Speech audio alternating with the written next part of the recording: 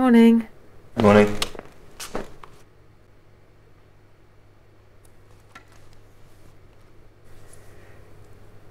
There's that squirrel in the garden again.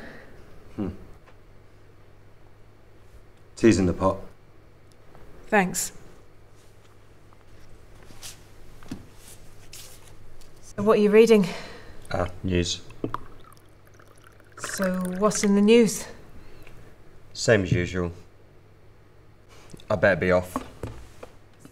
How was your run? Yeah, it's fine. I'll see you later.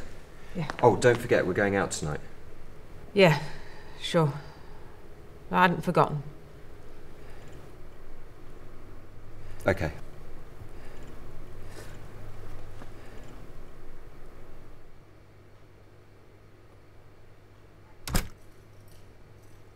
Come on, we're supposed to be going out. Yeah, I know, I know. I Well, couldn't we- get away, and then there was the traffic.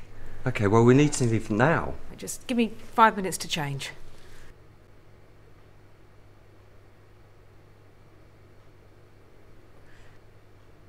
How'd I look? Fabulous. Now, come on, we need to go.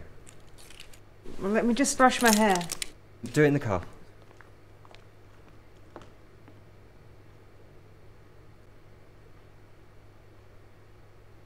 You did it again. You did it again. Don't blame this one on me. You're pissed. Why do you want to go there if you hate it? Well, I thought we'd have fun. I thought you were fun. But, but we never go anywhere. We went out tonight. To the same pub with the same people. And guess what? Yeah, the same. You wanted to go out. You said you wanted to go out. But not there. Not again. And not with them. Where are we supposed to go? Do you want to go to the Bull? Get drunk with the rugby crowd? I don't, I, I, don't know. Well, then what do you want? Anything. We had plans, didn't we? You said that we'd go abroad. We went abroad.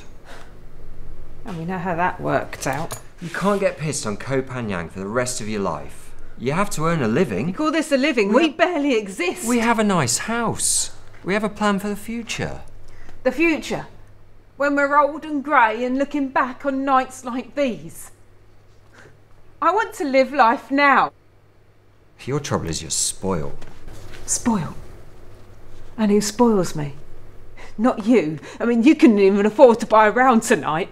The machine wasn't working. He'd said it happened before. It was humiliating. Right. I'm sorry.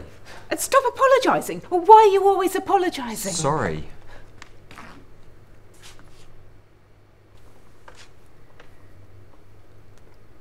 Greg always has to bail you out. Oh, Greg. Your eyes light up when he walks in the room. Well, at least he has some energy, some life in him. How did I get stuck with a loser like you? He hasn't had to live with you a years on end, has he? Hasn't had all the life and the dreams sucked out of him. Well, that's a horrible thing to say. It's true, Jessica. It's same thing every bloody weekend. Well, you could talk. You couldn't keep your eyes off Trish tonight. I admired her hair. That's all. That's not all, and you know it. I saw the way you two looked at each other. Ah, so I looked at her. I look at everyone when I'm speaking to them. You don't look at me. I'm looking at you now. Well, that's not what I mean.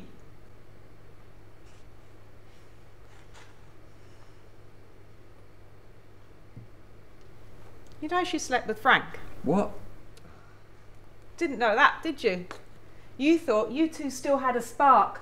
She's a slut, and you are another mug. There's no need to insult our friends. Friends. I can read her like a book. She's been a really good friend to you. She didn't hear what she said to me. What did she say? Lots of things. What did she say? It's not what she said, it's what she meant. You just wouldn't understand. She does everything she can to put me down. It's the way she looks at me as if as if I'm dirt. You imagine things. Imagine things. Yeah, I suppose I imagined you and Sarah. That was years ago. We weren't even married. We weren't even a But couple. we were as far as I was concerned. We've been over this a hundred times. You didn't even care. I didn't know. You should have known. Well, you should have said something. Couldn't talk about it. Yeah, you waited until we were married. And that is so unfair. Sometimes I think you imagined that too. Imagined it. How can I imagine it? God, I was in hospital. How can you say that? Do you know, you're a spiteful shit. And uh, what's more, you're a bloody bore and I wish I never married you. This is my house. I'm to bed, and in the morning, I want you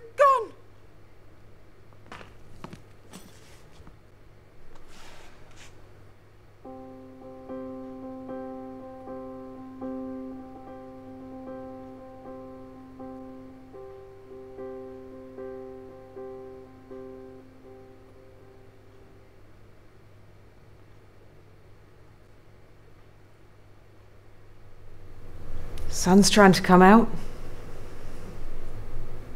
Might be nice later on.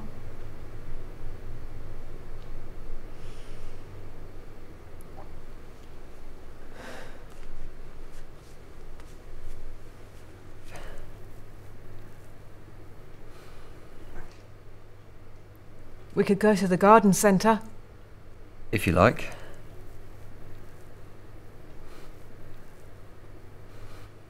Tea's in the pot.